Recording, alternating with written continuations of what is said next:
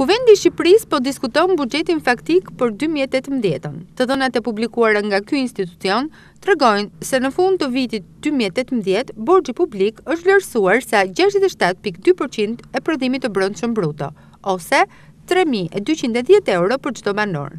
Përbërja e borxhit shtetëror sipas monedhave paraqitet pothuajse e njëjtë me të viteve të mëparshme. Pjesën më të madhe e zë monedha vendase me pesëdhjetë e dy pikë tre për qind të totalit, ndjekur nga euro me tridhjetë e dy për qind dhe dollari amerikan me dhjetë pikë pesë për qind. Pasi ka shqyrtuar aktin normativ për disa ndryshime në buxhetin e vitit dy mijë e nëntëmbëdhjetë, Parlamenti, nëpërmjet Komisionit të Ekonomisë, i ka kërkuar Qeverisë që të tregohet më e vëmendshme në drejtim të administrimit buxhetor, sidomos në detyrimet e prapambetura dhe realizimin e planit të të ardhurave.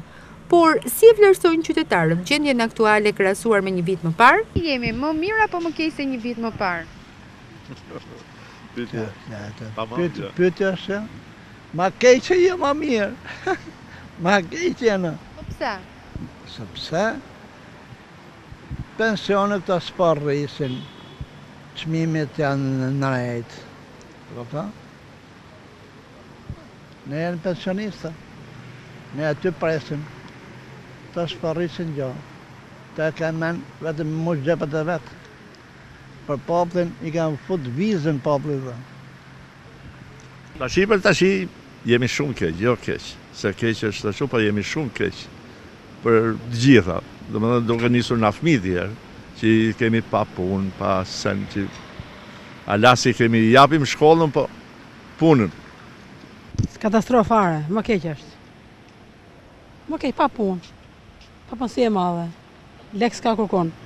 Ç'do më, ç'të them o Është një proverb që thotë Me hypë në xhami dalë jepin, a, po neve 30 vjetë poshtë, pse më shkojmë nalë poshtë.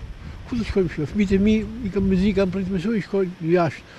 Po edhe, kur i marrin leka si i marrë, ashtu ja, babi që kemi nevoj, nimë kemi shumë, shumë, shumë në ta. Me fjalë që, janë vu njeri që paftë edhe në kuran, unë falë pesë vaktet në xhami, edhe në kuran, thotë dhe vetë i paftë në kry.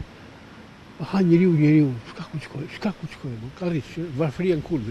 Fondi Monetar Ndërkombëtar në raportet zyrtare nuk e njeh treguesin e borxhit publik që raporton qeveria shqiptare.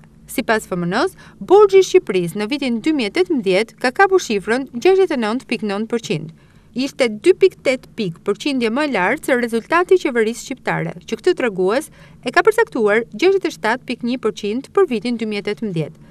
Statistika e FMN-së për detyrimet publike përkon me vlerësimin e Kontrollit të Lartë të Shtetit, i cili në raportin e auditit për buxhetin e vitit dy mijë e tetëmbëdhjetë ka konstatuar se borxhi publik real është gjashtëdhjetë e nëntë pikë shtatë për qind.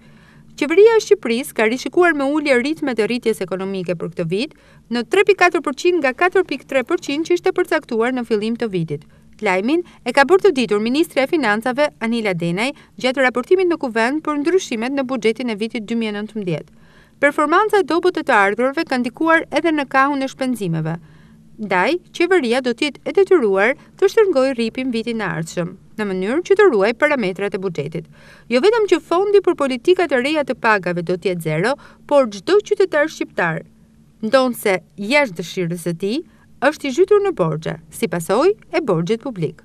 Në bazë të borxhit të qeverisë, secili prej nesh duhet të paguajë nëpërmjet taksave. Ne kemi këtu, s'kemi borxhe, na kanë borxh tjerët. S'kemi borxh njeriu.